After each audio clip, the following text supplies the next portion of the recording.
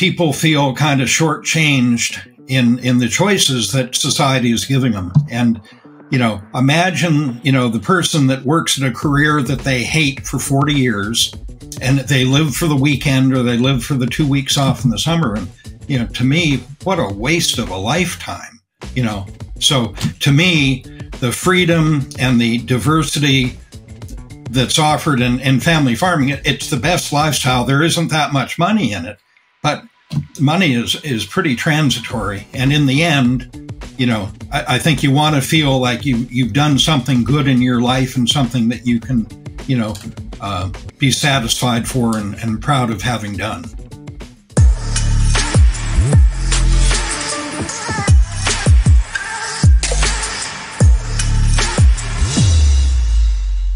Today, we have the pleasure of welcoming Jim Gerritsen to the podcast. Many of you may know Jim and his family for running Wood Prairie Family Farm in Bridgewater, Maine since 1976. One of the things they are best known for is certified organic seed potatoes, grown and shipped direct from their family farm in Maine. So, folks, if you are looking to source seed potatoes direct from the people who grew them, you could do a lot worse than getting them from Wood Prairie Farm. In fact, we've gotten seed potatoes from you in the past, and they always did really well for us. People from outside of Maine may not know this, but Maine is actually a big potato producing state with a history of potato production going back to the 1700s.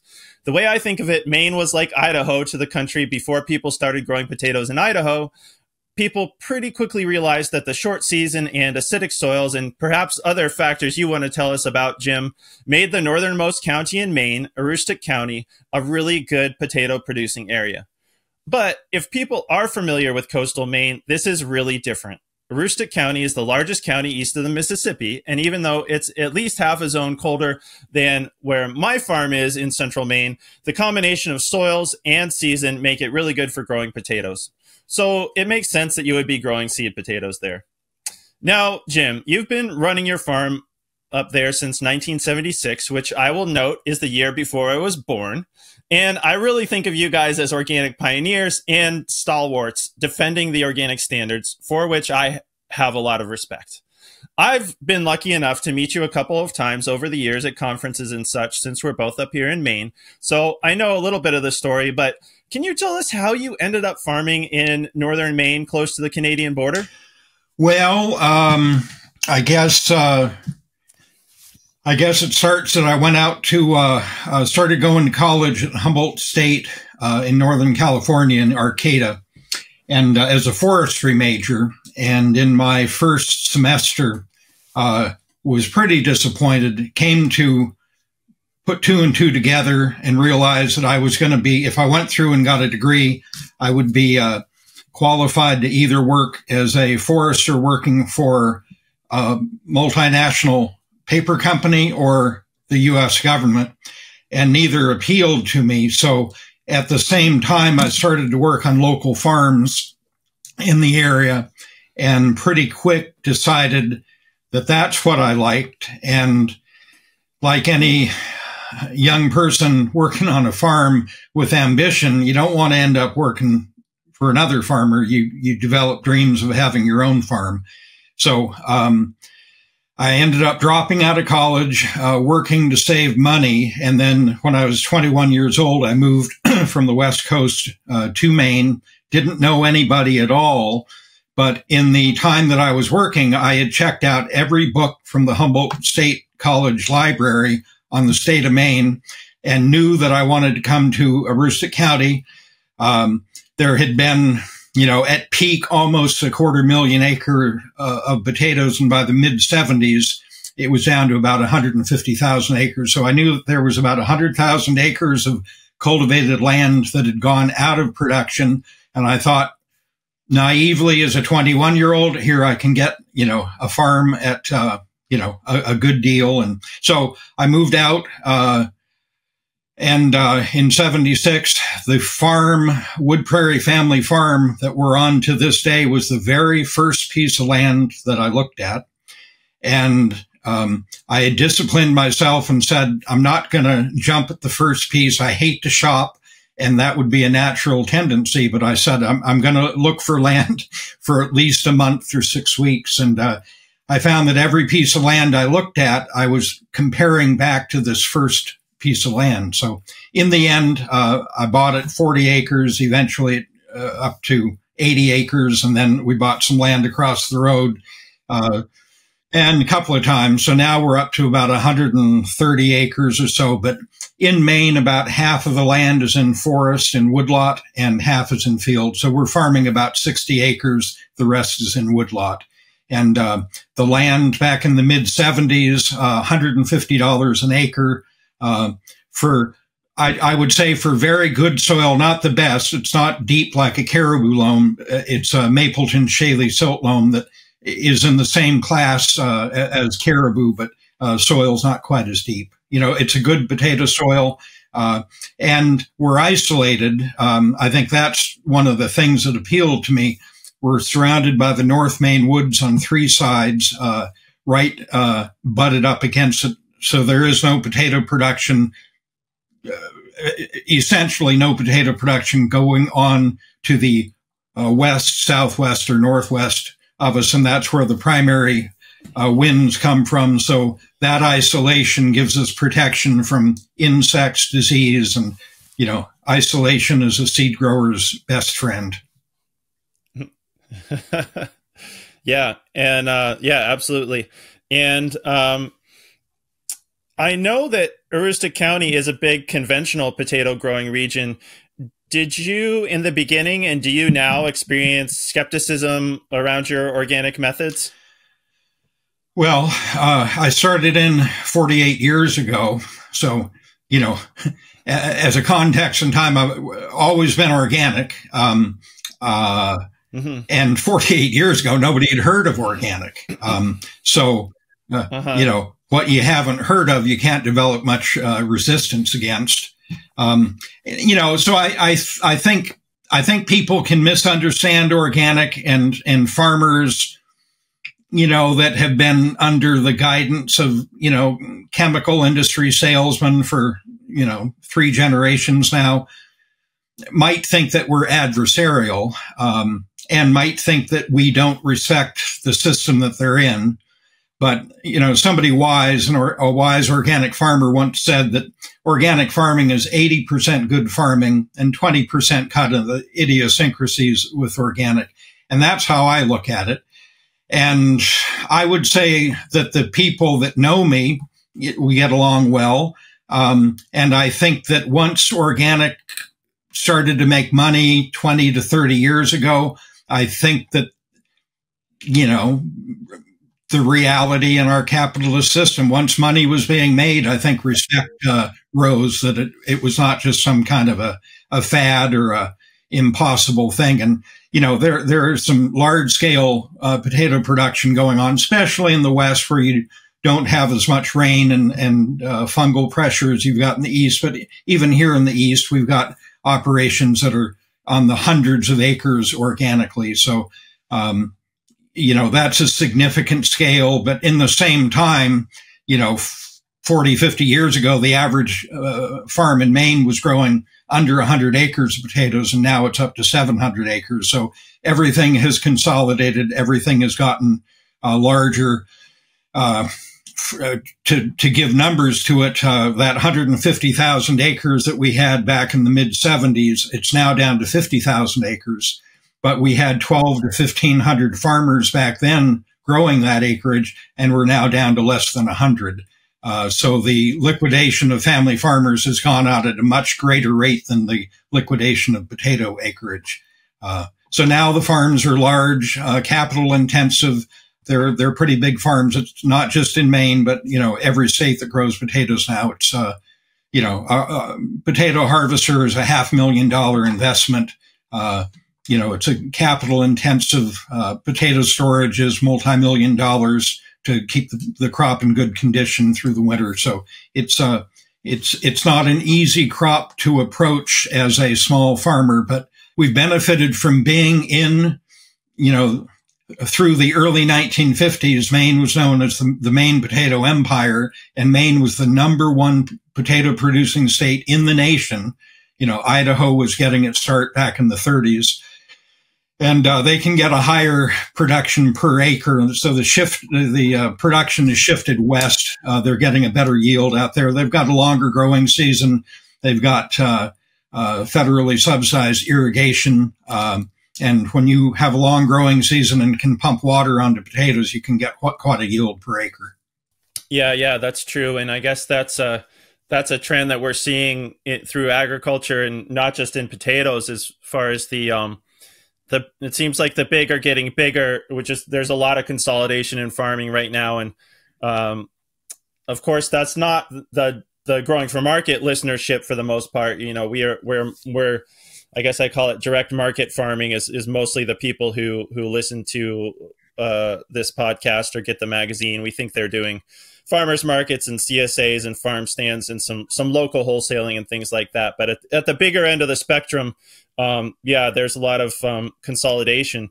And what I often tell people about Aroostook County is that my understanding is that it has a, naturally acidic soils, has some good good soils as far as depth and those kinds of things, and that it doesn't get too hot. Right? Potatoes don't really want to be in a really hot summer. Is that Am, eh, do I have that right? Are there other things? Are there other reasons why Maine what became such a big potato growing state early on? yeah. Yeah, it, it, used to not get that hot. I mean, like like everywhere in the last twenty years, we're getting a lot more heat than we've ever had. Um, the falls are staying warmer longer. The springs are tending to stay colder longer, so winter won't let go. Um, but generally, in the summer. Um, uh, you know, the, the recent pattern of the last two years is the aberration. We've gone back into wet conditions the last two years, but for the five years prior to that, it was hot and dry. Uh, and giving us firsthand experience, it is easier to grow when it's hot and dry than when it's wet and cold. Uh, grow potatoes.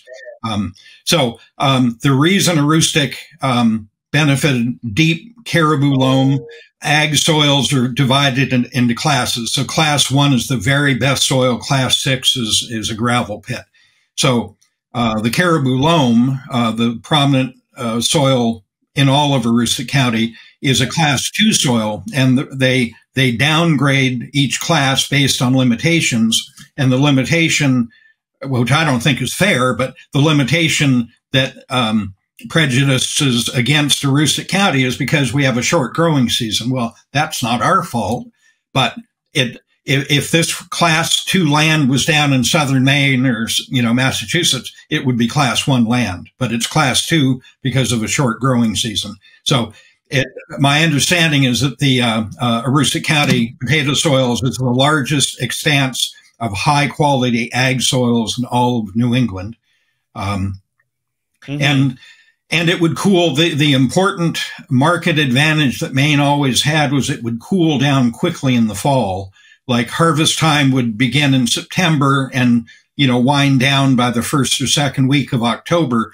And very quickly, once October rolled around, it would get cool at night and it was, um, it allowed us to cool down our underground storages uh, by opening the doors at night and bringing in cold air. And that was the advantage that allowed Maine to uh, get high quality storage conditions, cool the potatoes down quick so that they're going to keep through the winter. And you contrast that with an area like Pennsylvania, good growing land, but it doesn't cool down enough in the fall so that they need to market those potatoes the first half of winter because they won't keep as long as they do up here. Right. Okay. Well, yeah, that's that's interesting. Um, that you mentioned Pennsylvania because we, um, my family is from Pennsylvania, part of it at least, and that's where we actually originally started our farm. It didn't end up working out in Pennsylvania, so we, we moved our farm up here to Maine about 15 years ago. And uh, so, I, yeah, I definitely know what you mean about how um, you know, it cools right down in the fall uh, usually, and I can see how that would be a huge asset, especially before people had the electricity and the refrigeration systems and things like that to to artificially cool down um, those areas. Because I, for people who haven't been, it's a pretty common sight up in Aroostook County to see the potato houses, almost like these big barns. A lot of them are dug into the side of a hill or something like that. That um, designed to to store just tons and tons of potatoes and uh, do they still let uh, is there still a break in the fall up there? I know there used to be a fall break so that uh, they would get, give kids off of school in the fall so they could help their families get the potatoes in. Is that still up there or? Yeah, it, it, it still continues, but it varies by school district. So uh, we're in the Mars Hill School District, and um, they'll be one of the last districts to abandon potato harvest. The the problem is you've got a three week long harvest season, so it's not really long enough to attract outside labor to come in, farm labor to come in. Uh, so it varies yeah. by school district. In Presque Isle, uh, one of the, I guess, the largest town up here, they uh, actually voted to abandon their um, harvest break about four or five years ago before COVID. And then there was such an outcry that they reversed their decision within a year. So they're continuing to do it. Uh, we do it in this town, but uh, there aren't that many uh, school districts left that are doing it. But uh, this began after World War II. Um, when uh, the state of Maine came up with uh, it, it, used to be up and through World War II, school wouldn't start up until early November after the farming season got done, and then it would continue through the winter until mud season in March, and then the legislature in the late 1940s decided that we needed to have a standard 175 day school year. And this threw into um, kind of chaos Aroostook County, which relied upon, you know, kids and families to harvest the crop by hand. So they actually had to pass a state law. At that point, Aroostook County had twice the population we have now, and, and they had some sway in Augusta and they passed a law allowing them to start up classes in August, take off the three weeks for harvest break, and that has continued nonstop since the since world the end of World War II. Okay, interesting. Well, it really is a beautiful area up there where you guys are. I, I don't know if you know this, but I uh, in another life I used to work for Johnny's Selected Seeds, and so um, I would actually come up to Aroostook County during the years that I was doing that because we were working with some big potato growers up there who are just trying to diversify their cropping a little bit. And so it's such a different climate than most of the rest of the country that we would actually plant trials of like brassicas and things like that um, to uh, because none of the brassica varieties are bred for a northern Maine kind of climate. In fact, most of them are bred for coastal California, where most of the industrial production is. And so we were basically running these trials up in Aroostook County to try to figure out which varieties that were already on the market uh, would work up there. And it was always it was always fun to yeah drive up through Mars Hill and um and uh, but it was it was interesting. Um, it was just such a just such a different world than down here where I um where where where we live. In fact, I think that was the first time that I'd seen a robotic driven tractor or robotic assist because I was on this big uh, potato farm putting in a broccoli trial, and in the, the adjacent field uh, there was somebody. I think they were planting potatoes, and no, no, actually they were they were planting broccoli, and so they had they they had a tractor that was you know everything was like laser laser lined out and so I was I was there like with my Earthway planting this little little broccoli trial, and I, I, look over at this field with this big tractor pulling, you know, seeding many rows at a time of broccoli, and I see the guy hop out of the tractor while it's running, go around to the back, look at all of his seeders, make sure they're still dropping seed, and then hop back in to make the turn at the end of the row. It was just uh, it's just a different world um, uh, than when where we come from, and. Um, I, I probably should have mentioned this earlier, but it, it's it, it's interesting. I was thinking about your your story about having gone to to uh, to school for forestry and realizing that it's not really what what you had in mind. Because my wife and partner in farming, Anne, um, she actually, she was very interested in geology, and so she went to school for geology, only to realize that the she was being prepared to to find you know oil deposits or basically figure out like oil drilling or how to blast a hillside for mining and so it it, it really it kind of reminds me of her journey in a way because that led her to where we are with farming. And it has actually come in handy because she has a really good understanding of you know how soils are generated from the bedrock components and things like that. And she she likes to talk about how the the the rocks are the the earth's bones that under, underlays all the soil that we that we work with. But um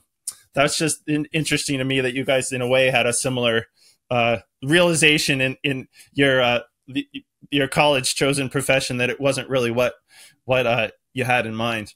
Yeah, I, I think the trend towards specialization uh, it's coming up short. You know, uh, what we all want, you know, we, we want to contribute um, to making our communities strong and, you know, to, to try to figure out how to interact with the earth in a harmonious manner, leaving the soil in a better condition than when we arrived.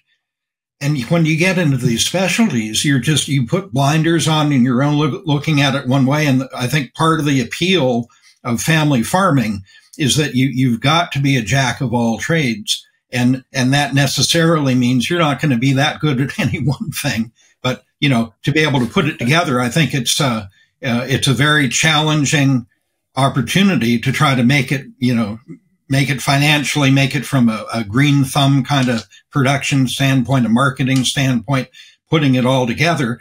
And the reward, it, it's certainly not finary, uh, financial, um, but it, you know, you feel like, you know, this is what I want to be doing. And I think that's, I, I think that's what is driving the interest of coming into family farming and small farming is people feel kind of shortchanged in, in the choices that society is giving them. And, you know, imagine, you know, the person that works in a career that they hate for 40 years and they live for the weekend or they live for the two weeks off in the summer. And you know, to me, what a waste of a lifetime, you know. So to me, the freedom and the diversity that's offered in, in family farming, it, it's the best lifestyle. There isn't that much money in it, but money is, is pretty transitory. And in the end, you know, I, I think you want to feel like you, you've done something good in your life and something that you can, you know, uh, be satisfied for and, and proud of having done. Yeah, yeah, absolutely. Um, I yeah, a lot of organic uh, farmers wear a lot of different hats, but it can be a very satisfying lifestyle, and that's why actually on, in, here at, at the magazine and the podcast, we're, we're trying to do a lot with business resources for farmers, just because I think yeah, nobody gets into it for the business, but um, I feel like there are more resources out there now, more good resources that can help farmers figure out how to just how to how to think about their numbers and be profitable and all those kinds of things. Of course yeah i don't think most anybody gets into farming uh, for the numbers but it's one of those things where if they don't understand how to understand their business you know they're not going to stay in, in farming for long. So we're consciously trying to focus on the business aspect just to help people stay in business if, the, if that makes any sense. Like as you know growing for market is um, going to be 34 years old in um, in 2024 and I feel like it's there's been a bit of a progression. I know from talking with Lynn Byczynski, who of course founded Growing for Market, who I took it over from. I feel like the the, the first sort of like wave of growing for market articles were just how to grow stuff you know let's see it was founded in 1992 and i feel like that was really kind of a low water point for market farming um, a, a, lot of the traditions uh, had been lost from people who knew how to do family farming as as family as farms got industrialized. And so i feel like one of the first waves was just how to grow stuff. And then i feel like there was then there became more of a focus on well how then how do you sell it? It's like okay so you've grown this stuff. How do you sell it? And i feel like one of the focuses we're trying to bring in is is also just how to be a good business person while still staying a, a, a small farm a family farm but how to be a good business person and keep your business afloat inside of that. You've got your thumb on the pulse. Um, starting out, we had to figure out how to grow. You know, the question was the production. How do you grow organic? And you know, we had a uh, uh, we became part of a group across the line in Canada. Uh, its acronym was SAVE, uh, Sustainable Agriculture for the Valley Ecosystem, St. John Valley.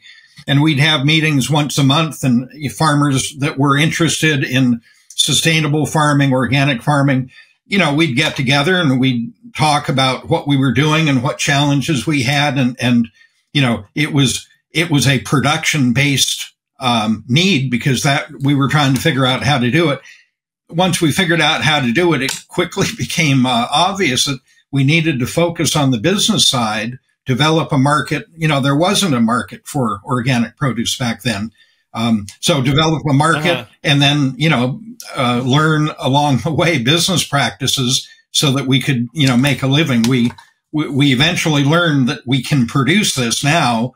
The challenge is how can we sell it at a good enough price that we can make a living out of it? Makes sense. Well, c- can you tell us a bit more about your farm family just to give listeners an idea of what your farm is like? I think you have adult children who are part of the farm. Um, I know I, I've seen you, you guys seem to always have projects going on because I've, I've seen your stuff on, uh, on Instagram and you, you, you seem to always be, uh, working on something, but I'm wondering, uh, maybe you even, uh, employ more people in the winter for sorting and shipping potatoes than you do in the summer. Can you just tell us a bit about how, what the, the year looks like there on Wood Prairie? Despite our best efforts, we always seem to be uh, completely different than everybody else. So we need more help in the wintertime, uh, marketing and moving out our crop than we do in the summertime. Um, potatoes is uh-huh. a crop uh, that lends itself towards mechanization and the mechanization on the, you know, on the conventional side has really reached an industrial scale. Um, uh, we we bought a new potato harvester this summer, a new used one, 25 year old, but you know, new to us. And the farmer that we bought it from, he retired a couple of years ago, and I've he's been a seed grower that I've known for 25 years. And he had sold. He has some nice uh, river bottom land along the Aroostook River in the town of Washburn. Um, and uh, and he was saying that the uh, farmer that bought his uh, farm this spring, they were they had grown potatoes last year, so this year they were planting uh, oats on the field, and looking out from his uh, picture window, he added up $2 million worth of equipment on that field, planting that very low value crop of oats. And it, it just, it's, uh, it's crazy how expensive that kind of farming has become and how tenuous. And, you know, you don't make money on grain. You try to make money on potatoes. And then in the bad years, you try not to lose too much money on potatoes because you could go out in one year by losing too big. So you try to keep the brakes on, uh, minimize your losses five out of six years. The sixth year that you make money, make enough money to replace some of your equipment until the next profitable year, five or seven years down the line. It, it really, it, it really seems like a, a, a, form of insanity, but that's American agriculture. Um, and potatoes, it's volatile because it's a semi-perishable crop you know, the crop that you harvest in the fall, that's got to be marketed within 12 months. If you're growing wheat, corn, soybeans, that you could theoretically store, you know, the kamut that, you know, Bob uh, got going in uh, Montana, that those kernels were what, 2000 years old. So you've got a perishable versus or a semi-perishable versus a non-perishable. So a, a, year like this one, for example, there was good weather in almost all of the uh, western half of North America. Uh, it was wet here in the east from Ontario east, and uh, that was the only area where the production was down because of too much water. But out west, you know, I, I think in Alberta, uh, they abandoned either Alberta or Manitoba. They abandoned five or seven thousand acres, didn't bother to dig them because they didn't think there'd be a market for them. And these are processed growers that are growing for French fry factories. But uh, anyway, in, you know, we've we've been in short supply since COVID began, and then it flip flopped, and finally, uh, crop of 2023. Uh, you know, there is a big, probably a five percent oversupply, uh, and, and, that's going to take its toll. Uh, um, anyway, the the point is, uh, potatoes are a different kind of a crop because they're a semi-perishable you know, lettuce, you've got a week or 10 days to, you know, harvest it and sell it and get it into a home. Potatoes, you've got 12 months, really practically speaking, nine months. But uh, with grains, you've got, you know, a lot more longevity and you can buffer out between one year to, to the next. If you have a, a good corn year one year, you could hold that corn supply back uh, to wait for the price to come up, say if the following year is a rainy year and the production is down. Uh, so every uh, right. every crop has its own idiosyncrasies, um, and here, you know, pretty much cool nights, good deep soil, uh, doesn't get too hot, and you know, um, being at national organic meetings, I quickly learned to keep my mouth shut when it, you know, in Maine, we talk about going three weeks and call that a drought. And I, you know, my, uh, my uncle in South Dakota has a cattle ranch, uh, that's been in the family for generations and they could go for two years without rain. So I, I learned to keep my mouth shut when it came to drought. You know, in Maine, we, we're not qualified to talk about drought. Yeah, yeah. Yeah, I know. We we are spoiled. Um usually in a good way. A little a little too much rain this year for me, but yeah, when we were when uh, my wife and I we were apprenticing, we we apprenticed on a, a organic farm outside of Chico, California, and I re- I remember that the farmer telling us irrigation is like a religion here, right? Because they they didn't get any rain during the growing season. If the pump broke down or anything, they are immediately starting to go behind. And so, actually, that's one thing uh, I think that we benefited from of working on farms in different parts of the country because we saw how different it is. And yeah, and honestly, besides the fact that all the, the farmland was really expensive out there in California, we also thought like maybe we want to go back east where it just rains and we don't have to be completely dependent on the infrastructure and water rights and all these things to get our crops to grow. And so, you know, we ended up back here uh, anyway. Well, 48 years ago, that was one of the considerations that I had. It just seemed like in the West, where you had, you, it, developed a level of complication and necessity of having to interact with uh, regulators. And it seemed a lot more sensible to me to go to an area that had good soil and that got natural rainfall. And I've since modified that. And I think in a short growing season area like Maine, you really do have to have irrigation as a backup. That if you go more than 10 days with uh, water stress on a crop like potatoes, you're going to take a hit on yield. So I, you know, um, you, you start out when you're 21 years old with a certain view, and then as experience goes along, you see. But I think generally that's right. Uh, you, you know, we're better off in Maine, and the pendulum swings. Those guys out west that are reliant upon irrigation if you don't get, um, if you either don't get the precipitation in the winter, um, or if you get it and it comes as rain and it doesn't get stored in a snowpack, uh, you may not have water to grow a crop. And in Maine, you know, yeah. it, it can, the pendulum can swing between way too wet and way too dry. But compared to out west, it, it you know, uh, I've, I've talked with farmers that firmly believe that Aroostook County's potato acreage is destined to increase as they uh, run into production difficulties out west because of the lack of water.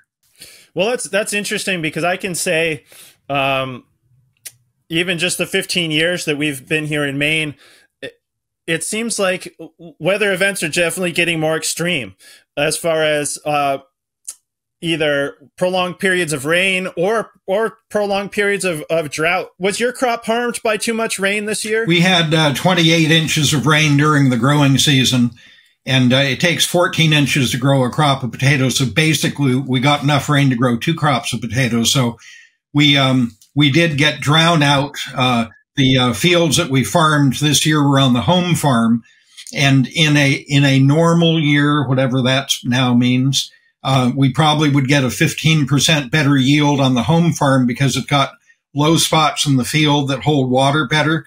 So when it turns dry in July and August, we the plants would remain in better conditions. The tubers would size. On the flip side, uh, in a wet year, that wet ground, you know, we probably had 15% of our acreage uh, drown out. So that hit on yield. And, and then I think uh, that we had so much rain that the rain came from cloudy days and the cloudy days cut down the amount of solar radiation coming to the crop. So uh, apparently most everybody had, you know, um, pretty good sized crops, but in a wet year, you always have more, more pickouts and more rot. And, you know, we've, we've been spoiled. I, I think it is easier to grow a crop in dry weather and you know we we built a couple of irrigation ponds just to give us the capacity of irrigating when it does turn dry in July and August. Uh, but uh, for about oh, after we got done building them for about 10 years, it was so wet that we never irrigated. And then, you know, the pendulum swung and we went for about five dry years and we were glad to have had that water when we needed it. But, uh, so this year, I would say that it, it was too much rain. Uh, and, you know, uh, you, you get one roll of the dice every year. Um, you know, we started out the first three weeks in May, we didn't have a drop of rain. And I thought it reminded me of 1995, which was um, the driest year that we'd ever experienced. And then come 2020, that was the, uh, it superseded 95 in the driest year, you know, going back 100 years, probably one, those two years, 95 and uh, uh, 2020 were the two driest years, probably two of the five driest years in the last 100 years. Uh, so we've been through that and been through real wet years been through real dry years. I'd pick real dry years, but that's because we have irrigation ponds and, and we have plans to continue to dig more ponds so that we never run out of water if we need it. But, uh, you, you know, too little water, you can irrigate too much water and you've got a problem with an underground crop yeah, like yeah. potatoes. Yeah, I was just wondering because it, it was super wet down here. It was just it was just definitely more uh, more rain and than ideal and not enough heat to go along with it. So I was just wondering if you had the same thing up there. Potatoes love um, water and they love it cool, but too much any good thing is too much, you know. So this was one of those years. Yeah. Did you or do you still grow table stock or have you always been focused on seed potatoes? Well, I think most organic guys get into table stock and that's probably a good thing to, to gain your experience growing table um, but we saw 25 years ago, we could see, we, we saw the experience of the conventional market to where you had big production out west, like Idaho, for example. They get half again the yield that we get in Maine. And there was a year when we had, we were down to 60,000 acres. And in one year, Idaho increased their production by 40,000 acres since they get half again as big a crop they increase their production like by the the production that we get in Maine. So these guys in Maine get awfully discouraged because it's like you know they knew yeah. that was going to depress the price when those guys out west that go gung ho on the production and you get you know they they say something like a five percent uh, oversupply of a crop is going to drop prices at least seventy percent to below the cost of production and you know, the guys here in Maine, they didn't, they're not overproducing, you know, but in, in one fell swoop, the guys out west, and that was just one state. So it, it becomes, it becomes a challenge. And I think within agriculture, there is kind of a, um, competition between the East and the West. And, you know, uh, a lot of the guys in the East blame a lot of their problems on the guys in the West and maybe vice versa. Probably so. I'd like to ask you a little bit about seed potato production. I know that because they are vegetatively propagated with the, the seed piece, uh, viruses and other diseases can build up in potatoes over time. So I seem to remember that seed potato lines have to be propagated by tissue culture or something like that to keep them free of viruses every few generations. Um, is that the case with organic seed potatoes? And either way, can you tell me how you keep pathogens out of the seed potatoes? Yeah, I mean that would that would do a whole interview on itself, and I'm not known for you know I'm known for being pretty long winded the, gist of it is it's at least as big a problem for organic as for conventional. Conventional uh, use some pretty heavy duty uh, uh, pesticides. For example, they'll use um, systemic insecticides. The Bayer product Admire, for example, they'll uh, lay that in furrow next to the seed piece. It, be, it you know, goes into the plant and it's um, systemic in that it translocates to every part of the plant. So uh, even though you put it in furrow, it basically is creating a poison for the leaf. So an aphid jumps on that leaf and eats it. And uh, up through the first week in August, um, when the uh, strength tends to run out, that aphid is going to be killed in you know a matter of two or three seconds. The problem is they can transfer virus uh, they can vector virus from a sick plant to a health, a formerly healthy plant in one second.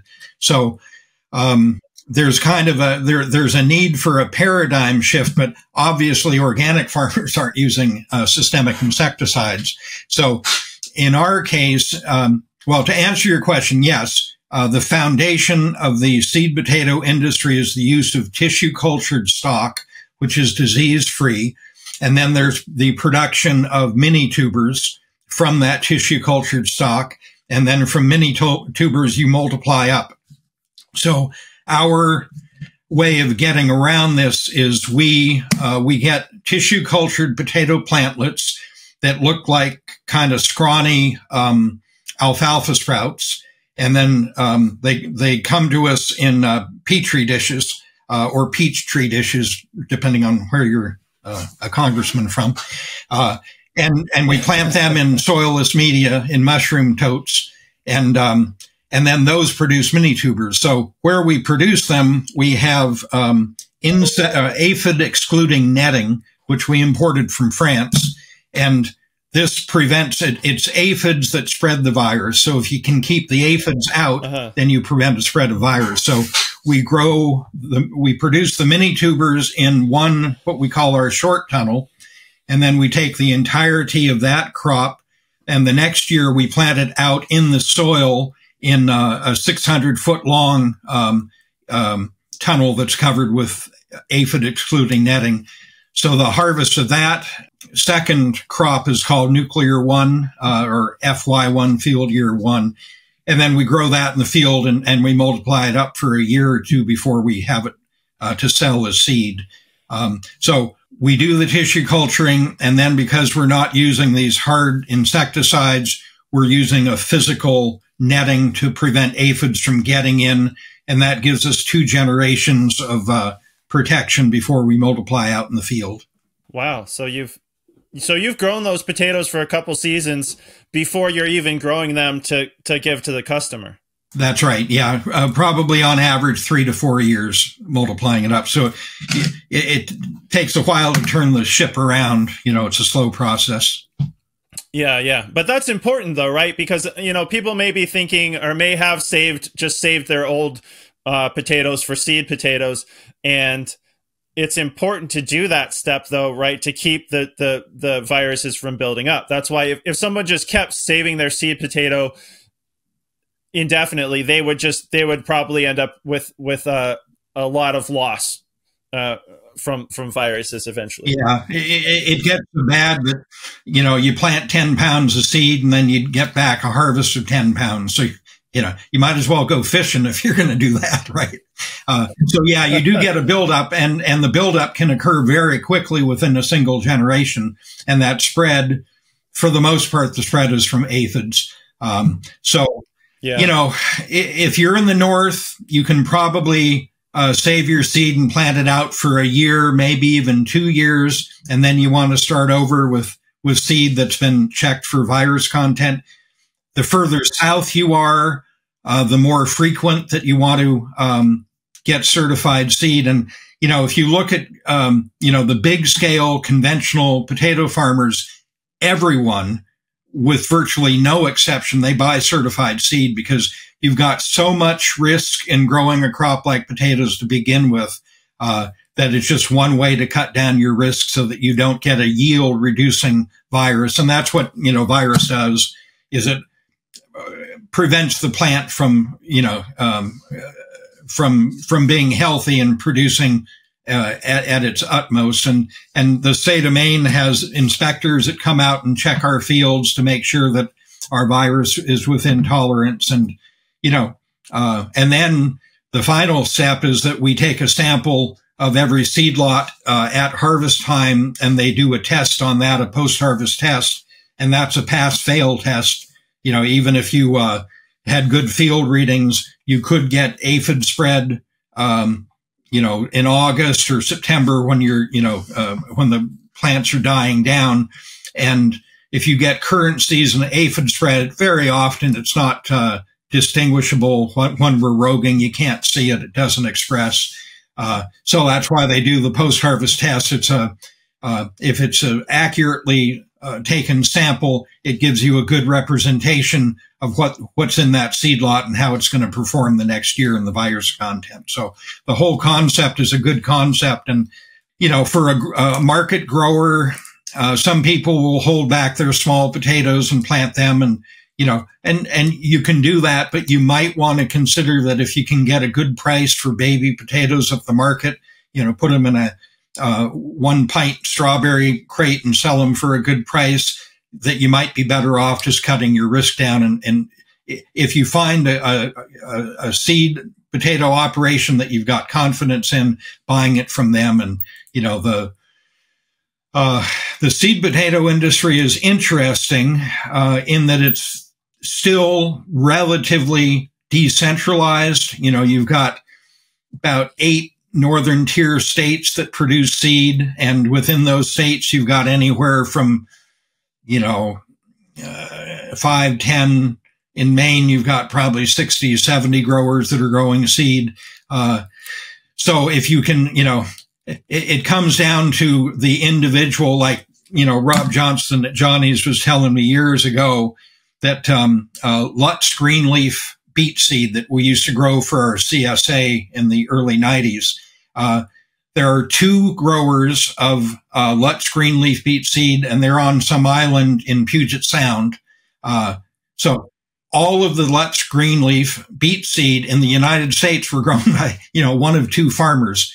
So that, that's what I call concentrated production. With potato farming nationally, I think there's 110,000 acres of uh, seed potatoes that are grown and some states do a better job than other states. Uh, so it, it's not homogeneous. You want to, you know, find good seed and then um, get it from that farmer that's doing a good job. Okay, well that's that's what I wanted to ask you about because I know just knew just a little bit about it from working in the seed industry a little bit, but I I'm guessing that a lot of our listeners didn't know how much actually goes into uh, seed potato production it's it's you know it's i just wanted them to know well i was curious myself. I also wanted them to know it's not just somebody just saving their seed from year to year and being like well i guess i'll grow seed um, you know seed potatoes for sale this year. You know it's a very specific chain of events is, that keeps this the the seed potatoes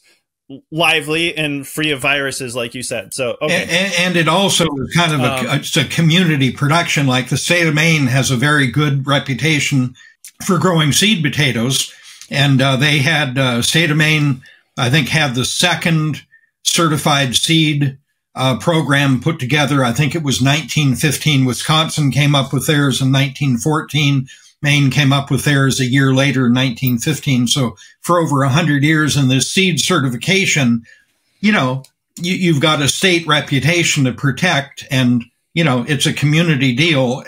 Everybody's got to do a good job and, and it's pretty rigorous to meet the requirements of seed certification. For example, we have to completely empty out our potato storage. We have to uh, clean with uh, hot water pressure washer and then disinfect with uh, Clorox bleach.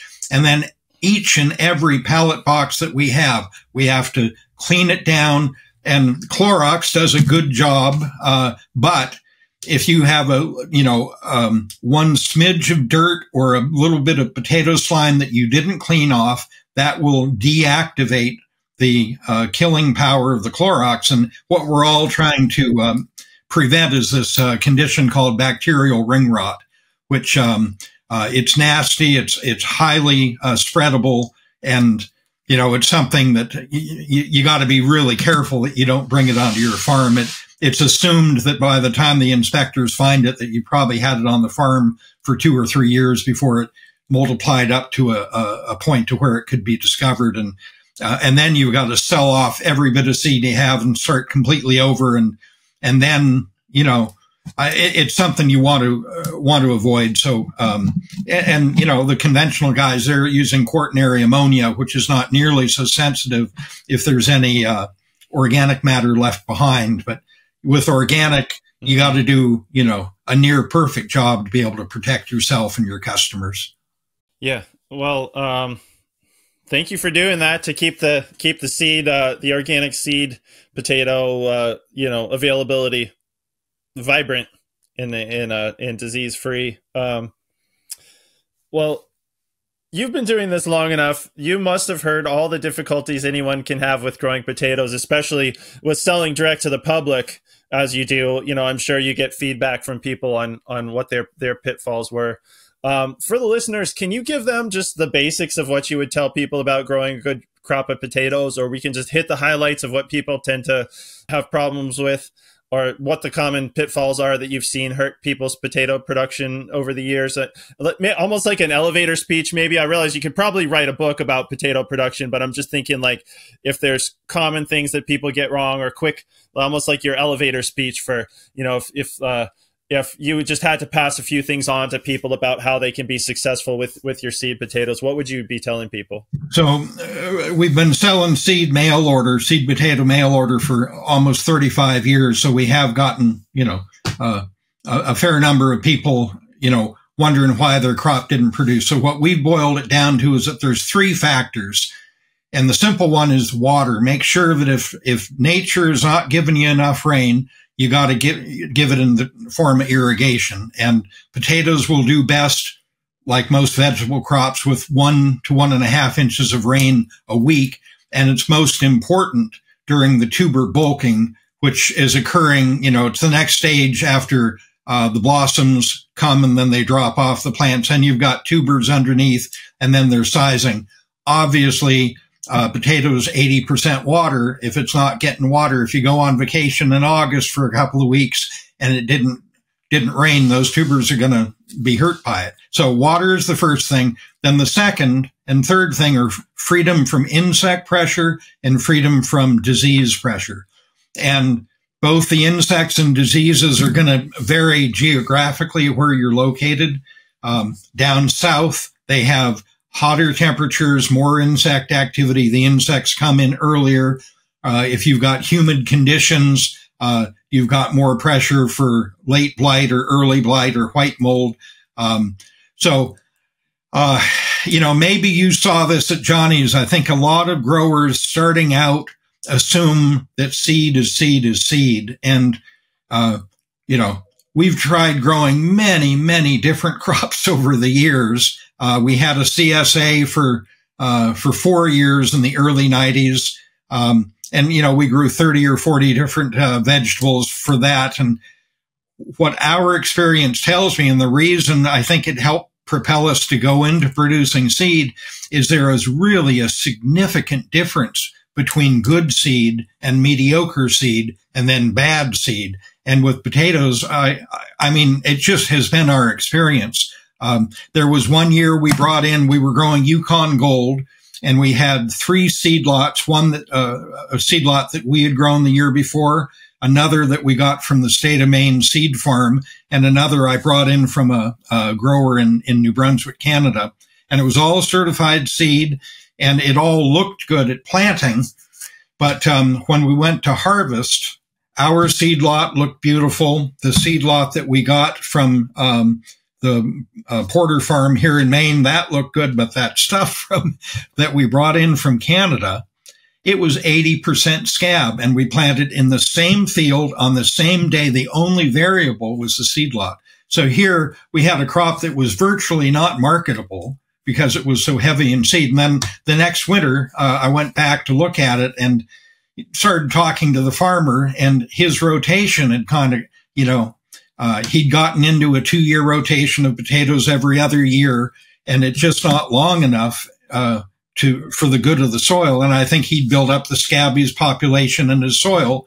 And when you get a combination of a dry year that scab likes, and you've got a susceptible variety like um, Yukon Gold, you can harvest it. And even I, th- I think this is my belief. I, I don't know if a scientist would back me up, but I think there is a subclinical level of scab in seed potatoes that you can't see to the human eye, but it was in that seed lot that we planted. And that's, you know, it, there was some dryness in that year. And I think that's why we got kicked in the back of the head with that seed lot.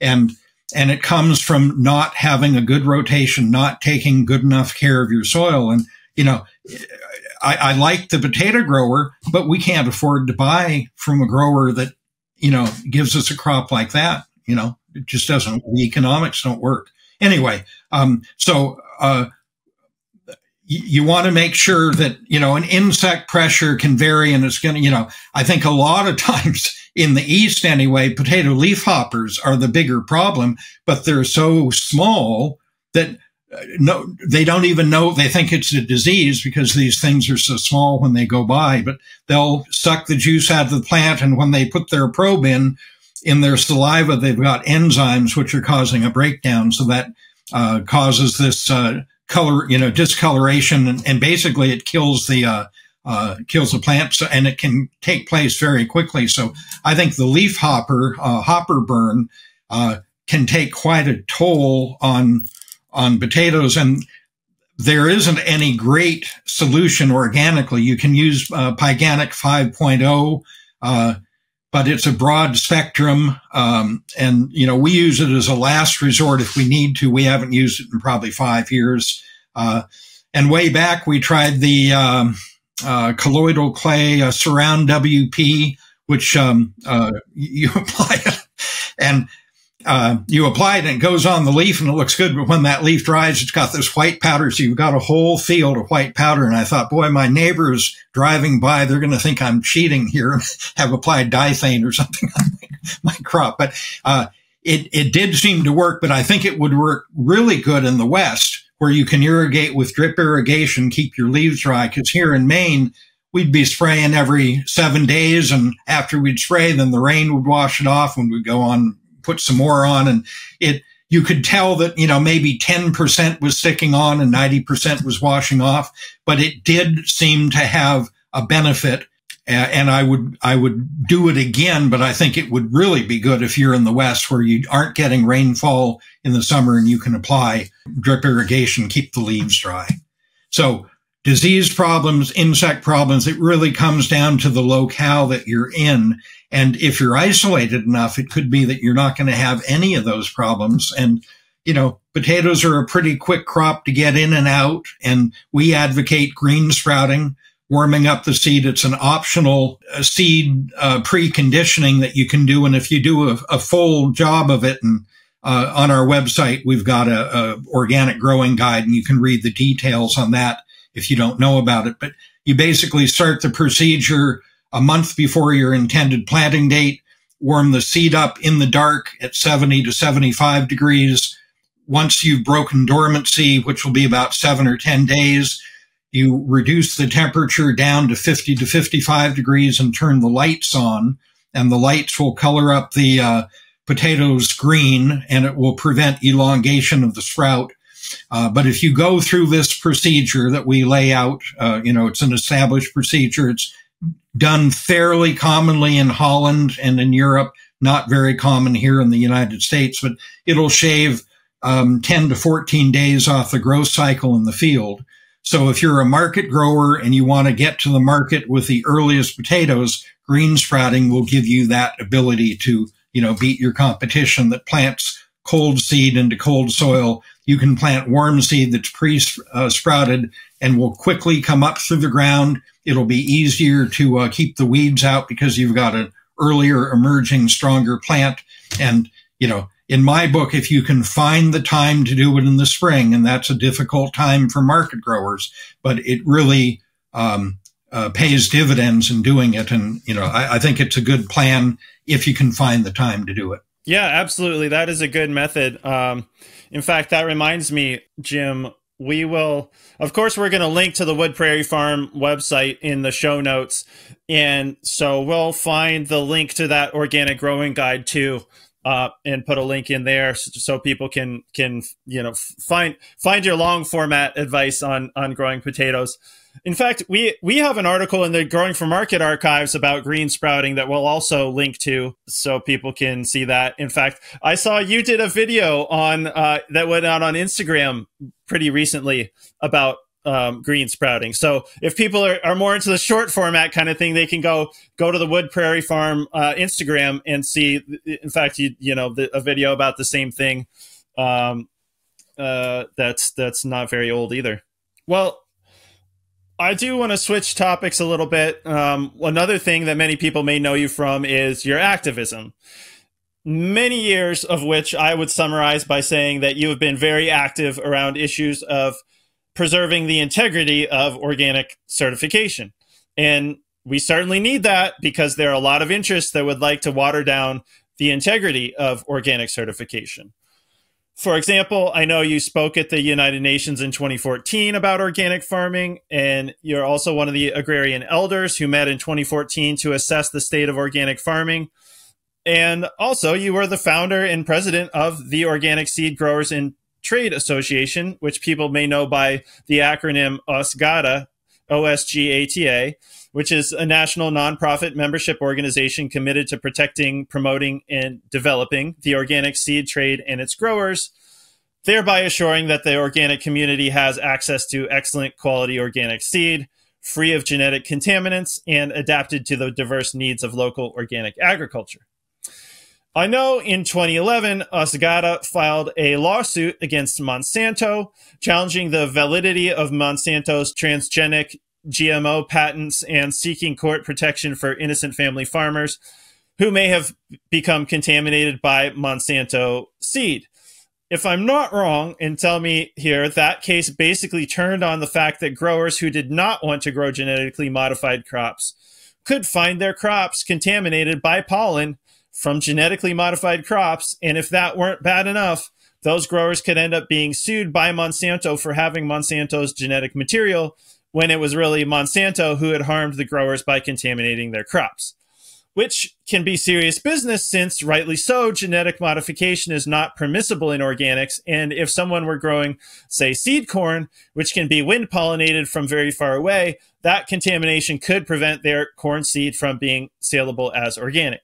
So, can you tell us? Uh, did I get anything wrong, or tell us a little bit about the lawsuit and how that whole process ended up? Yeah, the the one clarification I'd offer is that OSGATA was the lead plaintiff, but the fact is we had about 80 plaintiffs in that uh, lawsuit representing uh, about 300,000 people uh, within the organic community. So um, the other plaintiffs had as much at risk as we did, and and I was president of OSGATA during those years. We filed uh, that lawsuit in uh, March of 2011, and if anyone is interested in in uh, the history of it on our website. I think under resources, uh, we've got all of the um, uh, the history of that lawsuit and all the press releases we put out. Uh, it went on for two and a half years, but um, we were represented by uh, the Public Patent Foundation, and what we were seeking was uh, two two actions. One was to gain court protection for uh, organic farmers that should we become contaminated by Monsanto's patented transgenic seed, that the court would protect us from being sub- subject to a uh, patent infringement lawsuit by Monsanto. Under U.S. patent law, it doesn't even matter if you possess another's patented material without having signed a licensing agreement. Even if you don't know that you possess it, you are in violation and you are uh, subject to uh, patent infringement litigation. And Monsanto likes to bully farmers to get its way. And uh, many of the farmers that it has accused of um, uh, violating their patent rights simply settle out of court because they know that if they go up against Monsanto, they'll lose their farm. So they may have to pay eighty or a hundred thousand dollars. Uh, but that's better than losing your entire farm. And then, of course, Monsanto has a gag order on the agreement, so the farmer can't can't uh, go public with uh, the the situation. So, uh, one, we wanted farmer protection, and then we were also going to argue that the U.S. Patent and Trade Office had uh, improperly, unconstitutionally um, uh, granted these patents to genetically engineered crops because under um, well-established um, jurisprudence in the United States that was um, uh, articulated by uh, uh, Supreme Court Justice Story, I think in 1820, that if you took a poison to the patent office and wanted to get that patented, it would not qualify because it does not meet the public utility provisions of patent law. Unless it provides a public good, it can't be patented. And our argument, and I think we had a strong argument, was going to be that genetically engineered crops are not a public good. They do not deserve to be patented. They do not to deserve to have that protection granted them. So, um, as with every lawsuit, uh, Monsanto was challenging us on standing. Did we have the standing or the right to sue them? And, you know, that's what every big corporation does. They try to keep you out of the legal system because what they don't want, one, they don't want the discovery process. And we had, you know, the history of the tobacco industry to where the tobacco industry knew for decades the harm that tobacco caused their customers. And they, it was only in the discovery process of the tobacco lawsuits that, that these internal memos came out, which was smoking gun evidence that the tobacco companies knew about the harm that tobacco caused. We felt there was a parallel situation. Uh, it's now come out, you know, in the fullness of time with the uh, Roundup Ready lawsuits out west in California and elsewhere. Uh, the internal memos that have come out through the discovery process, it is now abundantly clear that Monsanto knew that these, that their Roundup was uh, causing uh, uh, physical harm um, to the, the users of that technology, be they farmers or landscapers. So uh, we, we felt confident that uh, Monsanto and all of their genetically engineered crops, uh, the, the, vast majority of them are Roundup Ready or HT uh, herbicide tolerant crops. Glyphosate is a uh, disaster. It's a, you know, the, the GE technology is a, um, a, a, flawed technology that can only fail because from the get go, uh, it was not valid. So we thought we had a strong case. So Monsanto uh, pursued uh, the line of argument that we didn't have standing. We lost the first um, uh, ruling at the federal district court in Washington to a Clinton appointed federal judge that was uh, amazing. And if you want to uh, find out the quality of judges that we have, there is a review for everything online and there is a review of federal judges. So anyone interested can go to the site called the Robing Room, R-O-B-I-G, a Robing Room, and look up uh, Judge Naomi Buchwald, B-U-C-H-W-A-L-D. And the listings there have lawyers that practiced in her courtroom and, and the, what they're explaining, the same experience they have, you know, giving, uh, the, uh, prosecution or defense tips on how to win this lawsuit. It was uh, uh, quite a thing. Anyway, she ruled against us. I think she had her mind made up uh, before uh, we ever got to the trial. So we immediately appealed to the uh, Court of Appeals. A year later, went to the Court of Appeals, and throughout the whole process, uh, Monsanto was saying, "Listen, we're a good company. We don't go after farmers." And we knew that was a lie. And they said, we would not go after farmers who, you know, uh, through no fault of their own, uh, had contamination. Well, the Court of Appeals, which didn't understand agriculture, but they were trying. So there were three uh, judges on that. They issued a three to zero opinion. They issued an estoppel, a judicial order that forced Monsanto to make good on its claims in in court and, and in filings back and forth that basically said, okay, we're going to hold you to that. You're saying that you won't uh, sue farmers. We're going to hold you to that. Uh, so it was a partial victory. Uh, we didn't feel that we got what we, you know, everything we wanted by any means. So we appealed to the U.S. Supreme Court and, uh, they only take 50 or 60 cases a year and there are about 5,000 that are offered, uh, offered up. So you've got like a 1% chance of, uh, of having them look at your case. So they passed over our case feeling that uh, adequate justice had been meted out. But within this lawsuit, we had Canadians in our plaintiff group. And the reason is if you sell into the United States, you are bound under U.S. patent law. So these Canadian farmers are every bit as much at risk. So that ruling from the Court of Appeals offered zero protection for Canadians. You know, they're in a different country, so a, a, U.S. ruling can't have any impact. But it denied us the opportunity to argue our overall case that genetically engineered crops are not, should never have been patented. Uh, and, you know, we were denied that process. And uh, so we had to be satisfied with a partial victory. The one thing is that uh, the way typically a lawsuit like this would go, uh, it would be members of the plaintiff group that would be protected in any positive outcome for the out uh, for the um, lawsuit. But in this case, because uh, of the estoppel, it applies to every uh, farmer on U.S. soil in the United States. So in that way, it was broader, but um, it still was lacking in clarity because these judges don't understand uh, agriculture. It, it allowed them, it allows farmers to, to hold on to that, but it doesn't specifically say that we have a right to plant them. It says we have, have a right to hold them. Well, farmers plant their crop, seed farmers plant their crop, hold back some of it to plant the next year.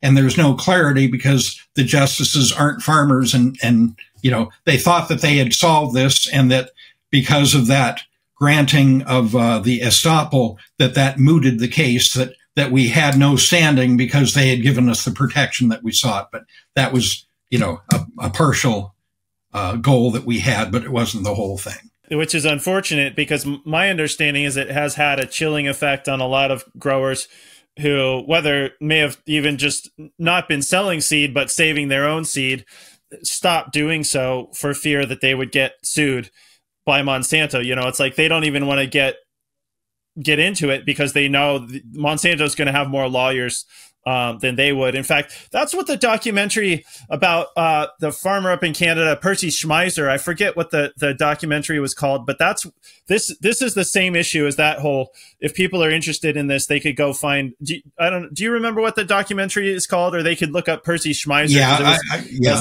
A, a, I'm sure they'd find that. Yeah. This, in Percy's case, he actually was saving back the seed and was, as I understand it, was spraying the crop with glyphosate. So he was trying to benefit from that technology. The difference in our case, uh, all of the plaintiffs uh, were not customers of Monsanto. We wanted nothing to do with right. Monsanto and we wanted to be left alone and not be subject to a patent infringement lawsuit. So it, you know, it was two different things. The Supreme Court, again, uh, 11 people that don't understand agriculture. Uh, they thought that a, a Bowman, uh, Bowman v. Monsanto, uh, which they had ruled on the year before. And Mr. Bowman, I talked to him on the phone a couple of times. Uh, he was a older farmer in, I think, Indiana. And, uh, he would go to the feed mill and buy feed grade soybeans and he'd plant them after he took off, I think, a winter wheat crop.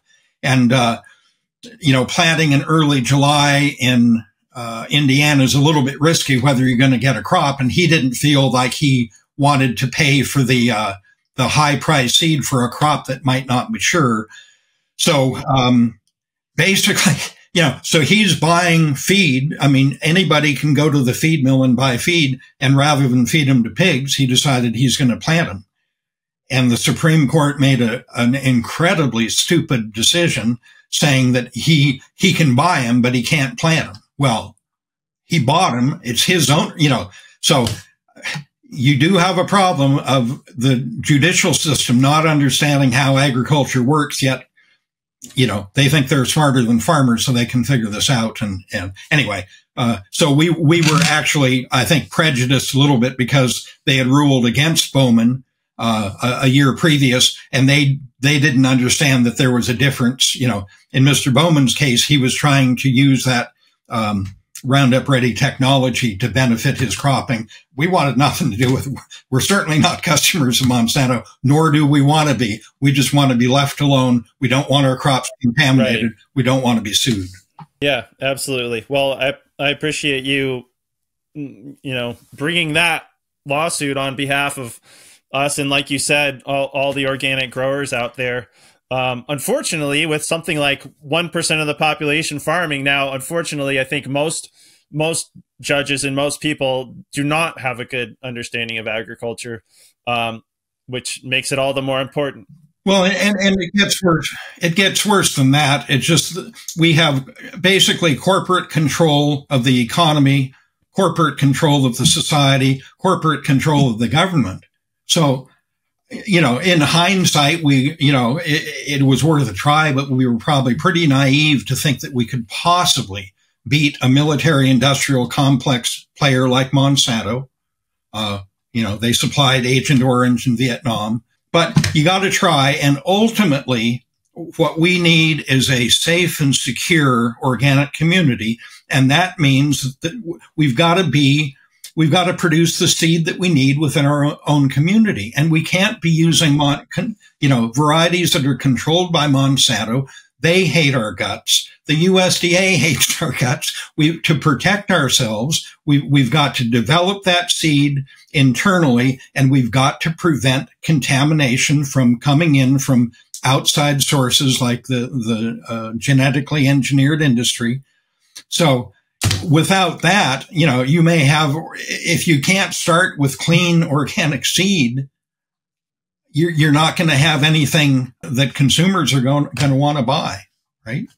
So to me, you know, you got to start at the at the source. You got to protect organic seed. So that was something, you know, uh, this this save group that we had uh, 40 years ago. We had Pat Roy Mooney from Ontario come down, and he he explained it was the first time any of us had ever heard of this concept of genetic engineering, and um, uh, the, he, he's from the ETC group. Um, and and he was he was filling us in and he said guys you you really have a problem that is coming this is in the mid 1980s this is 40 years ago. And those of us who were raising organic seed we understood that the the the risk of contamination of this pollen going off site and contaminating it it it was um, an, an existential threat uh, to production and to really having any clean seed supply. So, you know, this has been a, on our radar for a long time, and the government has just been in bed with corporations like Monsanto, opening every door that they want, donating, you know, making big campaign contributions to both Democrats and Republicans. And it's become a travesty, and the regulators are in a revolving door relationship with the chemical companies and the biotech companies and their friends are passing the regulatory structure and, you know, it's a mess and the public is not being served. The public is being sold out by the corporate interests that find that it's a good, you spend a dollar here and you get back a hundred dollar or a thousand dollars worth of benefit. And, you know, uh, there's a good reason that people are unhappy with the kind of the dysfunction that we see in within the USDA National Organic Program. Um, you know, their lack of enforcement of the federal law that, that we passed in 1990 has led to untold difficulties. Uh, the entry of fraudulent corporations that are not growing organically, but are using the organic label and the scale reality that you can't, you know, you can't compete with a, a, mega operation that has all the advantages of economy and scale and aren't growing organically, but get to call their stuff organic. To try to compete against that as an honest family farmer, it's not working. So my my interest in, in trying to defend organic seed was was really predated by my interest in trying to protect the, the concept of organic in the marketplace and I served in Maine. Uh, most of us are certified by MOFGA, the Maine Organic Farmer and Gardeners Association. So I served as a volunteer on the certification committee for almost 25 years. Uh, made, you know, made, a lot of trips over the years down to central Maine. Uh, we met at Johnny's when Rob was president, Rob Johnston of, of Johnny's for many years. He was the, pre- the, um, chair of that uh, committee and we'd review applications and write the standards and and that whole thing. So I gained some expertise and I figured that the right thing to do was to use that expertise that I had to try to protect organic. But, um, back, back in those days, we were part in the mid eighties. Um, our farm was certified not only by MOFGA, but by, um, uh, an OCIA chapter, Organic Crop Improvement Association. So back in the mid 80s, half of all certified organic farmers were certified by uh, certifying agencies that were part of the OCIA Confederation. And what we were trying to develop was, you know, there, there was talk of USDA taking over regulation of the organic community. And what we were attempting to do was to create a farmers guild that would be akin to the American Bar Association for lawyers, the American Medical Association for doctors, to where we would control this as a professional association of organic farmers, come up with our own standards, uh, come up with a bulletproof uh, system of certification that would, in the private industry, provide uh, assurance to consumers and to head off any, you know, takeover by USDA. But uh, what we came to find out is that uh, society holds doctors and lawyers on one level, and they don't hold farmers on the same level. So USDA came in. And then when it was obvious that USDA was going to take over regulation of the organic industry, we were faced with the option of either uh, turning our backs on it and having no input or trying to work and force USDA to do the best possible job. So the former option was not really an option at all because the USDA was not uh, keen on organic, and we figured uh, that they would create a, a, set of standards that were so bogus that anybody could get certified. The market would be flooded, the price would drop, and all of us could not make a living at it. So we got involved and we ended up um, passing a remarkably good law, not a perfect law. There is no such thing as perfect laws, but we passed, we got it tagged onto the uh, Farm Bill of 1990 and miraculously uh, it passed as part as a rider on that farm bill. And uh, so then it took uh, 11 or 12 years for USDA to um, implement it, uh, coming through different different drafts of you know what the uh, regulations would look like. And then uh, eventually, after a lot of fights going on, it, it took effect in October of 2002. So that's 20, 21, 22 years ago. Uh, and we do have this problem, which, you know, many of us were predicting at the time that USDA is not the kind of outfit uh, that you want running your industry. Um, USDA, like other agencies like the EPA and the FDA, it's under corporate capture. So it is operating at the behest of the corporations that call the shots. So that's why you have illegal, fraudulent hydroponics being certified as organic. That's why you have illegal, fraudulent factory farms producing uh, milk from cows that never see the daylight, chickens that never get outside, bringing in fraudulent grain from Ukraine or Turkey being fed to corporate farms in the Midwest.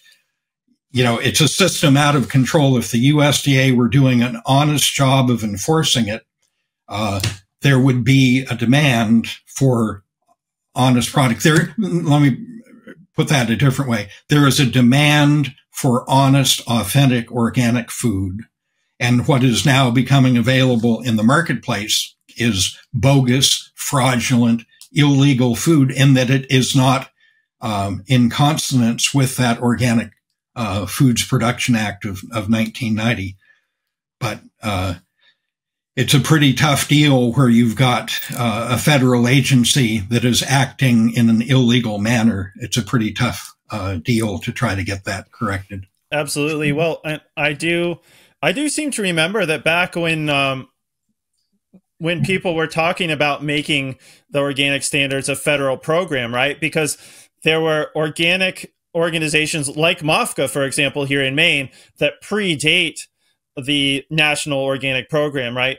I do seem to remember there was a bit of a schism, uh, if you want to call it that, when the federal government was going to take over organic certification, with some people, um, some people saying that their own, let's say, state organization had higher standards, you know, uh, and I know, I think some people decided to just not be certified organic anymore and then some people wanted to you know be a part of the process uh, but I, unfortunately i do think you're right that the usda is you know watering standards down to make them more acceptable or easier for for the big companies, whether it be livestock standards or allowing hydroponics for or, organic certification and those kinds of things.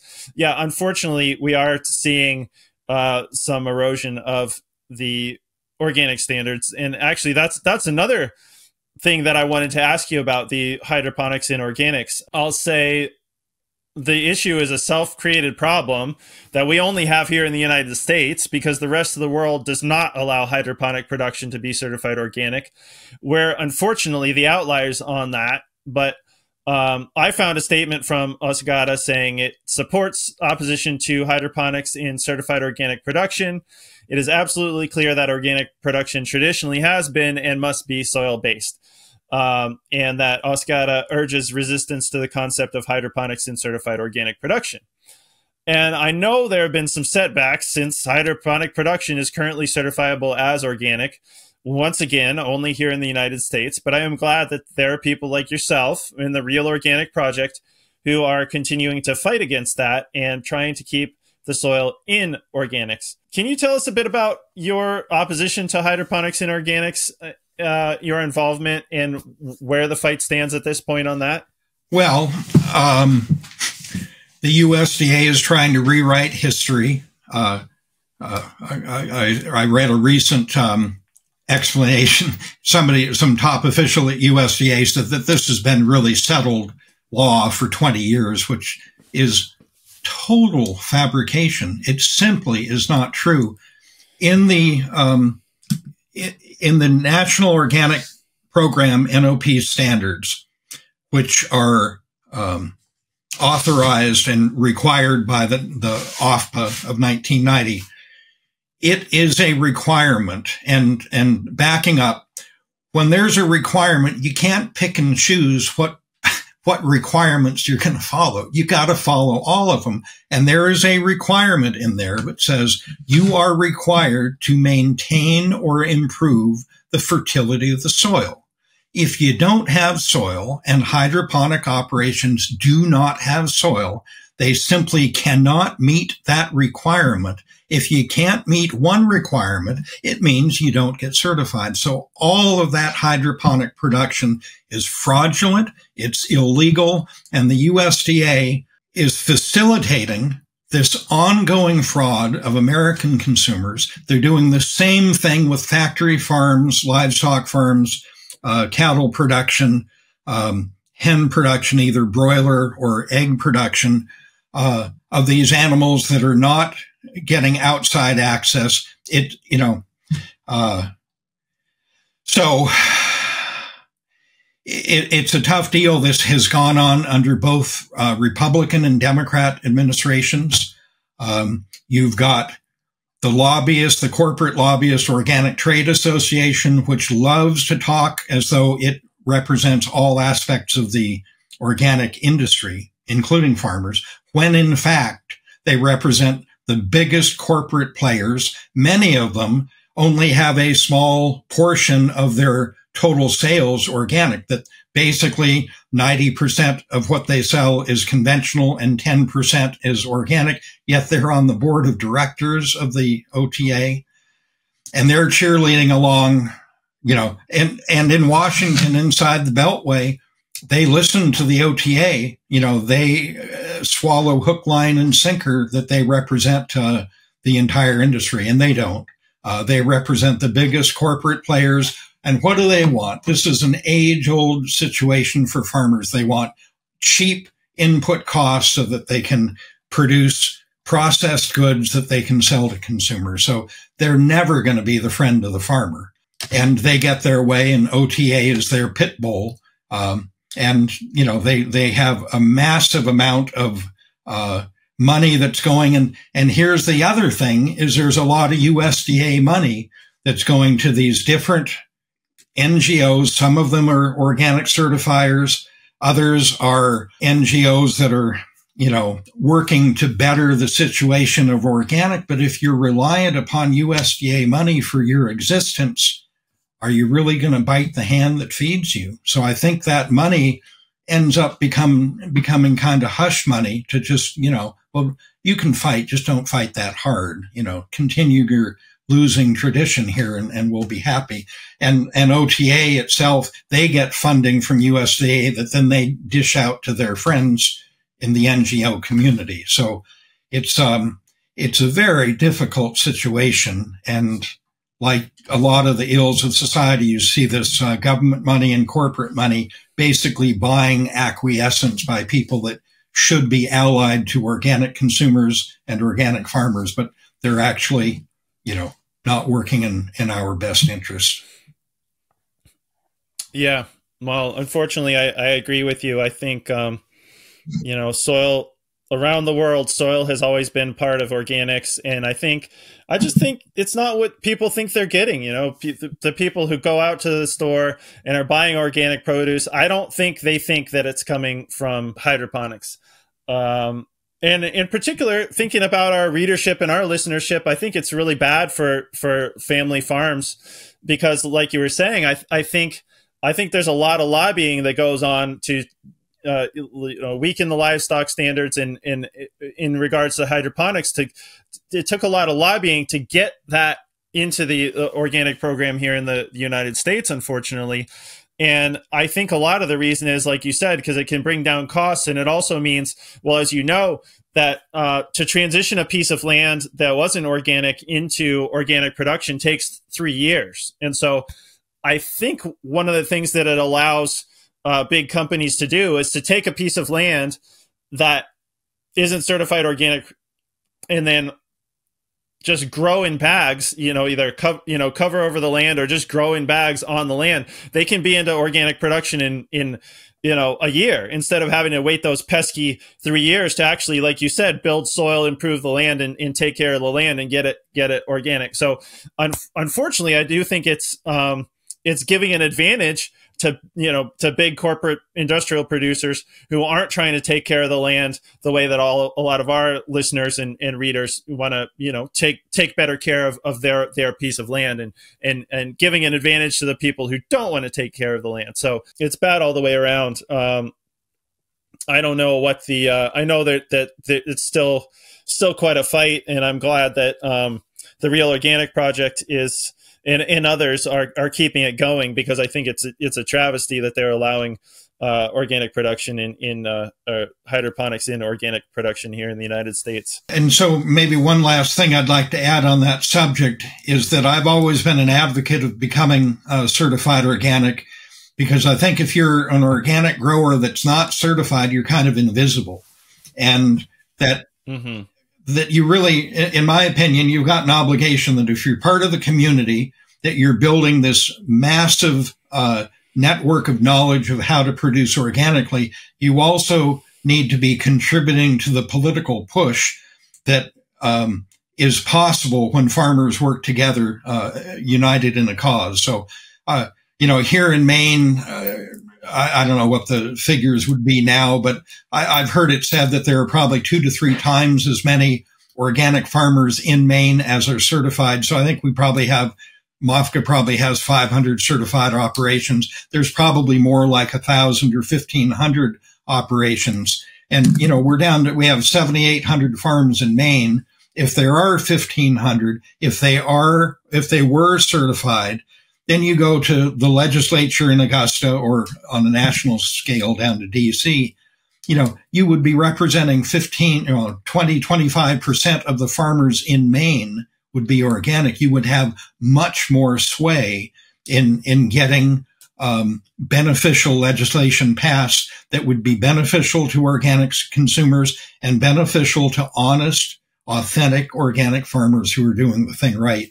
So I, I would um, encourage your listeners to consider becoming certified organic. And then now uh, the prerequisite for the real organic um, program, ROP certification, is that you have to be certified organic. So get your organic certification through the NOP program. And then as soon as you can get ROP certification on top, on top of that, uh, to be able to be counted. And, and I think that's important. And I think it's more important now as, as things really are kind of falling apart as the corporate takeover is, is gaining momentum within, within organic. But the thing to remember, I think there's something like 18,000 certified organic farms within the uh, NOP system. And it's something like 97 or 98% of those farms are family farms. You know, it's just a tiny minority of mega farms and they're producing uh, tens of millions, hundreds of millions of dollars worth of sales. But in the case of hydroponics, in the case of factory farm livestock, it's fraudulent. It's not real organic. And I was speaking, uh, I, I, attended seven uh, NOSB National Organic Standards Boards meetings in a row uh, back in, in my days at OCIA or uh, in my days at OSGATA. Uh, and I was talking to a top USDA uh, official at that time, and he was saying that if we decertified these layer operations, 80% of the organic uh, chicken eggs would disappear from the market shelves. And I said, I got no problem with that. What that means, that's a, a market opportunity for a, a genuine grower uh, that with maybe five, up to 2,500 birds, 5,000 birds for that grower to go in and supply authentic eggs. The consumers want authentic organic and this uh, fraudulent product that the corporations are giving us with uh, false labeling, that's not what consumers want. And eventually they're going to figure this out. And, and if we sit on our hands and do nothing to try to correct it, I think that there's going to be hell to pay when consumers finally figure out that, oh, jeepers, have I been paying this premium and feeding this to my family? And it really, you know, the Washington Post did the, uh, they tested some of the organic milk from some of these uh, fraudulent operations and found that there's really no, very little difference, virtually no difference between this corporate organic milk and conventional milk, you know, but real milk produced on real organic farms following the real organic standards. That's bona fide. That's what consumers want. So I think, you know, back 40 years ago when we were trying to form this guild of organic farmers, we were smart enough to know that ultimately, if we can do a good job, we'll uh, protect the market. We have the expertise of production. There's no one better for than us to protect the interest of organic consumers. And it's only intelligent service to provide, you know, protection to a concept like organic farming and USDA, which has never respected organic and, and operates at the behest of corporations that want to, you know, skip the rules because it costs too much to, to obey them and it cuts down the, you know, there we just have different interests. Organic farmers' interests and organic consumer interests, I think, are one and the same. And these corporations are the ones that need to be marginalized uh, but you know, right now uh, we're the guys that are being marginalized. Absolutely, and uh, unfortunately, I mean, I I think what we're seeing is I think I think uh, at the beginning of organics, it, we were laughed at. You know, the, the industrial agriculture just thought it was a, a fad or something. But then once once the market share of organics got big enough to make big companies take notice, it's like they thought, well, we want to get on, get in on it, but by watering the standards down. So, like you said, I think it cuts down on the opportunities for people who want to do it right, permitting organizations to do it wrong in in more cheaply. So, um, unfortunately, I think that's the stage that we find ourselves in. But I'm glad that there are people like you in the Real Organic Project uh, working on it. Well, I think we we've been talking for a good long time, but I just wanted to make ask: Are there any other issues in the politics of organics or agriculture in general that you'd like to make sure to bring to our listeners' attention? Well, um, in our case, I, I, think I was starting out to answer this question and, and, drifted off in a different direction. But in our case, um, um, Megan and I, my wife Megan and I, started the farm up and uh, we've had four kids, uh, and our second oldest, Caleb, is has taken over the farm. So now Megan and I work for him, and we've got another five employees that are neighbors that uh, work for us uh, uh, a little bit more in the winter, a little bit less in the summertime. Um, and you know, it, it's all we can do to move 11 acres of potatoes, you know, one pound at a time or five pounds and, you know, 20 pounds here and there. Occasionally to market farmers, you know, 200 pounds, 300 pounds. But, uh, given the size of our farm, we find that, you know, the business is doing better when we're selling to home gardeners. So that's the direction that, uh, uh, I'd say COVID helped us to open our eyes and saw that that, that was, uh, you know, uh, before COVID, there it was said that there are 100 million gardeners in the country, and that includes people that have a lawn. And then with COVID, I think there was an additional 30 million people that came in in 2020, and uh, uh, all of the organic seed industry went crazy beginning that Friday in mid March, March 13th through something. Our sales, all of the companies, our sales tripled overnight uh, when the country went on lockdown. But, you know, growing your own food, uh, you know, having a gardening, a garden, you know, having the kids help you in the garden, those are all, I'd say, some of the, the beneficial aspects of COVID. And, you know, I'd say that a lot of, you know, a lot of organic operations prior to COVID were languishing. You know, CSAs were losing membership. Uh, uh, farmers markets maybe had become overly saturated and were, you know, it was hard to get customers, hard to get, uh, you know, make it viable for vendors. So I, I, think all of the, all of these issues come down to kind of the economics of, of family farming. And I think we, we, we need to do the best job that we can to try to be viable. Uh, cause you do want another generation to take over. You know, we've worked hard for almost 50 years and to me, it is rewarding to see that the efforts we put in are going to continue, you know, providing stability and good livelihood, you know, to the next generation coming along. And, and I think you, you just can't escape the frustration of, um, the USDA not doing its job of not enforcing regulations because you, you can't, you can't do a good job at farming and get paid uh, so little that you can't make the economics of it work. And I think that's what uh, family farmers, whether you're organic or not, I think that's what we're all facing. It's uh, USDA has had a cheap food policy that they won't admit to, but they put it into into place uh, beginning in the 1950s. So for 70 years, the federal government has been pushing down the cash register price of food. And then they use their subsidy system to provide subsidies to the largest operations so we're having to compete with that low cash register price. And we're not the beneficiaries. 80% of those uh, federal subsidies go to the largest 10 or 20% of operations. So we're not getting that. We're just kind of getting rubbed uh, between uh, these opposing forces. But um, the bottom line is that, uh, that I think, you know, in a, in a democracy or a uh, faulty democracy like we have, I think you got to be involved. And and I think that's been my, you know, life story is that I always felt I'm doing this. I've got some knowledge that other people won't have. So I need to use that knowledge and try to leverage it.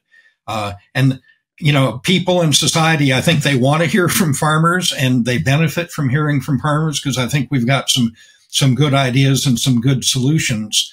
And I think we've got, you know, millions of consumers on our side. So I think if we're going to, uh, win at this, we've got to have good leadership and we've got to join forces with the consumers that we're selling to. Because uh, as you were saying, 1% of the population farming, we've got no political power anymore. But if we join forces with the consumers that, that we're helping feed, uh, that would be a very powerful uh, force. And I think that would then create economic circumstances that are beneficial and are going to make family farmers uh, say. And I, I, I really think that you know we're we're one of the important anchors of democracy, and and maybe the faltering that's going on is because farmers are not as present as uh, you know in in influence as they should. But you know, getting involved, doing what you can, and and that's the rub. Farmers, you know, we all work way longer hours than than anyone outside of agriculture would believe that we're capable of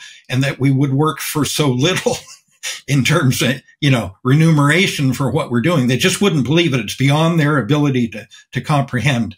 So that's why I enjoy going like MOFGA every fall has a farmer to farmer conference where farmers get together. And for many of the farmers, we see them once a year and that's it.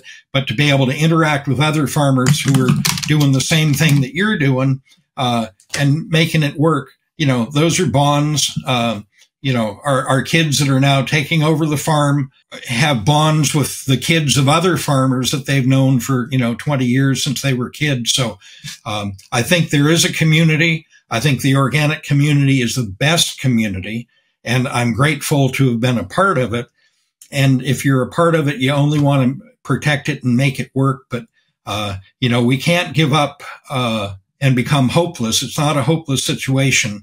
Um, the pendulum swings. Times are hard now, but uh, we tend to look at things as being a straight line. But, you know, uh, Strauss and Howe in their book of uh, talking about these cycles of history that uh, their study going back to the 1500s is that we go in basically generational cycles. A cycle is 80 years, four generations of 20 years, and that uh, usually the, the, the best of times follow the worst of times at that 20 year segment. So I'm hoping that, that the, uh, the 9-11 terrorism, uh, two decades, that was the war period that is followed by the good and the turning to light is what's up ahead. Uh, but I think we tend to look at things linear, like, well, it's, it's going bad. It's only going to get worse. But that's not the lesson of history, according to historians. So, uh, it means to get ready, uh, do the best job you can, uh, unite with your allies uh, to, to, try to make it better for everybody. And when you make it better for everybody, you're going to make it better for yourself. That that's the beauty of the system. That's a nice, hopeful note to end or close to end the interview on. Um, yeah, it is. It is discouraging to see. Um, yeah, Monsanto winning lawsuits, uh, hydroponics being permitted in organics, and all that kind of stuff. On the other hand, um, there are more farmers markets. You know, the number of farmers markets has grown a lot over the last 20 or 30 years. There, there are more farms. I mean, some are going out of business and some are coming in. So I guess, yeah, that's it. Is if we would love it if we could have more farmers too. I mean, that's, that's, I think the whole, you know, get big or get out philosophy of you know that whether Earl Butz is still around or not, you know that I think that that philosophy still lives at the USDA, and so you know that's one thing here at the magazine we would love to see just more more people come into farming. Uh, so hopefully we can see more farmers, and we can also, like you said, have the the consumers realize uh, how they're not getting what they paid for uh, with the big corporate organic. And you know if we can unite those forces we might really get some change. So we can we can uh, we can keep doing what we can do on those things and hope for the best. I know we've been talking for a pretty pretty good piece of time here and i, I really appreciate your time today uh, jim. Well, Jim, I, I have a lot of respect for what you've done for the, the, the farming community and the organic community over the years. Uh, let's do it again sometime. You know, I could definitely, I think you're, you're the kind of person we could definitely hear from more than once on the podcast. So I do, I do appreciate the time today. I did want to make sure and, and just ask, uh, where can people find you either online or social media or wherever you, you'd like people to, to look you up? Yeah, the easiest thing would be to find us online. Our website is www.woodprairie.com. Uh, and that's W O O D P R A I R I E dot com. Uh, we're easy to find. Uh, if you type in organic seed potatoes, uh, Google that. Uh, we pop up pretty early on that, so that's another way to find us. But um, you know, Maine organic seed potatoes, uh, we're pretty easy to find. All right. Well, I've really enjoyed it, Jim. Thanks for taking some time out of your day to talk to us, and I, I think our audience will too. So thanks again, and uh, take care. Hopefully, we'll see you again uh, on the pod one of these okay, days. Andrew. Thank you. Uh, I appreciate the opportunity, and I'm happy to do this anytime.